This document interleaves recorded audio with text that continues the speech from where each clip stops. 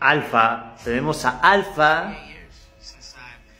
el Ranger negro, el primer Ranger negro. Billy, Billy, Billy, te amo, pendejo. Era mi, mi Ranger favorito, Billy. De lejos. El segundo Ranger rojo, la segunda rosa.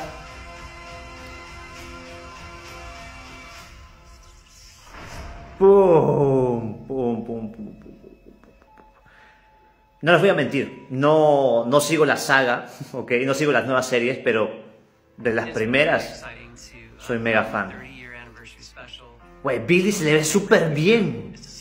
O sea, han pasado 30 años y a Billy se le ve God. Bueno, al Black Ranger también, ¿ah? 100%. Directing two actors who were Power Rangers 30 years ago, and actually from the other Steve.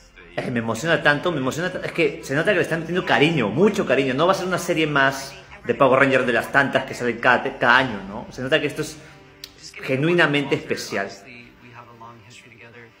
¡Wow, wow, wow, wow, wow, wow! Esto va a ser increíble. Y también va a ser raro, porque recordemos que los Power Rangers hicieron un cambio de personajes como a la mitad, o sea, como que cuando cambiaron de temporada. Así que vamos a verlos interactuar juntos. Claro, por ejemplo, él nunca interactuó con, con ese Black Ranger, jamás.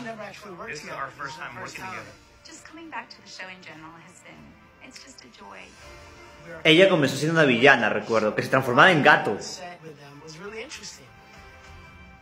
Me encanta que estén filmando ellos mismos las escenas con, los trajes de Ranger, porque recuerdo que en esas épocas eran escenas que evidentemente no eran de Estados Unidos, eran probablemente japonesas.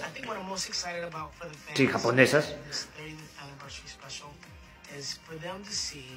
Ah, Que se ve tan bien. Por favor, Netflix, no la cagues, Netflix, no la cagues. Qué lindo.